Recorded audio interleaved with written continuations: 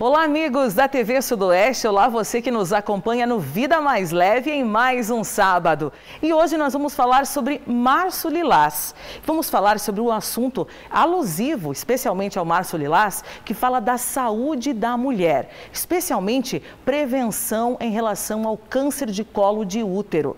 A nossa entrevistada da semana será a médica oncologista do Instituto de Oncologia do Paraná, a doutora Rosane Johnson. Seja muito bem-vinda mais mais uma vez, doutora Rosane. Muito obrigada, obrigada pelo convite. Vamos conversar sobre o março lilás. Doutora, o que seria então o câncer de colo de útero? É uma doença, Bibiane, que acomete as mulheres na, no colo de útero, que é uma porção que nós temos no útero.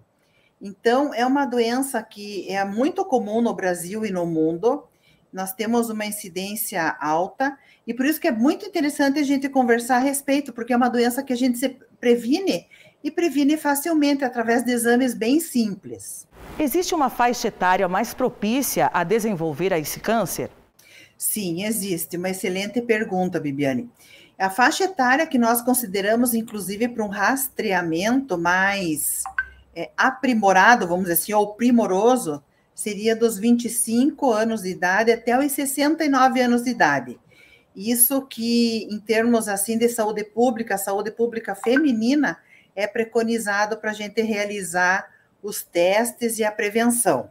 Quais os tipos principais do HPV, doutora? Então, nós temos os principais HPVs que nós temos são, os, são quatro numerozinhos, e dois deles provocam mais as verrugas genitais e outros dois, eles provocam, sim, através de uma lesão, de uma inflamação crônica nas células do colo do útero, de acordo com o número de anos que essa inflamação aparece no colo de útero, ele vai transcorrer com o aparecimento da doença. Então, quando você é portadora de HPV, tem verruga é, na genitália, ou teve algum contato com esse vírus, é importante ir no médico para ver que tipo de lesão que vai se manifestar em você. Qual seria a forma principal de transmissão? É, é pela relação sexual, mas existem famílias, Bibiane, que são é, naturalmente existe um ambiente de HPV na casa. Então, pessoas que têm verrugas ou aquelas birrugas que antigamente chamava-se, aquilo ali é provocado por HPV e nem todas são cancerígenas, elas vão provocar aquelas lesões. Então, às vezes, um contato com até assim o sabonete pode provocar aparecimento de lesões. Por isso que é importante ir no médico para saber diferenciar entre o HPV que vai provocar o câncer de colo de útero e HPV que vão aparecer verrugas, que precisam também ser tratadas.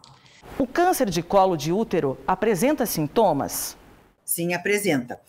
Essas verrugas e essas lesões que a gente tem que ir no médico para fazer o Papa Nicolau, coletar material das células do colo de útero, fazer um exame até um pouco mais sofisticado que a colposcopia. Então, essas são as lesões que a gente diz assim, de início bem precoce.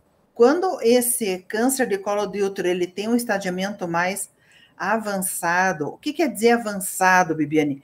Quando ele está maior Daí ele apresenta outros sintomas, que são os sintomas clássicos do câncer. Então, nós temos assim sangramento, mas não precisa ser sangramento todo dia. Pode ser sangramento quando você tem relação sexual. Pode ser um, um sangramento intermitente, quer dizer que ele dá, aparece, para, aparece de novo, para, aparece de novo.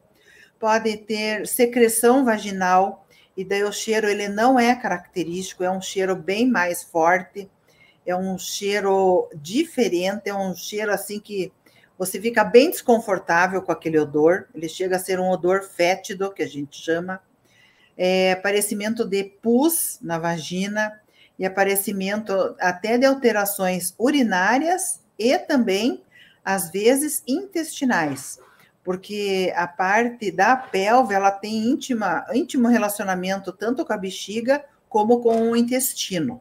E o exame de Papa Nicolau é importante para a detecção do HPV? Sim, essencial. E nós temos uma cobertura nas principais cidades do país com mais de 80% para realizar o Papa Nicolau. E o que, que é o Papa Nicolau? É, você vai no ginecologista, ele faz uma pequena é, raspagem, é, não dói, não dá desconforto, não chega nem a dar uma cólica, de tão delicado que é a coleta do material. Coloca esse material numa lâmina de vidro e essa lâmina de vidro é encaminhada para um laboratório.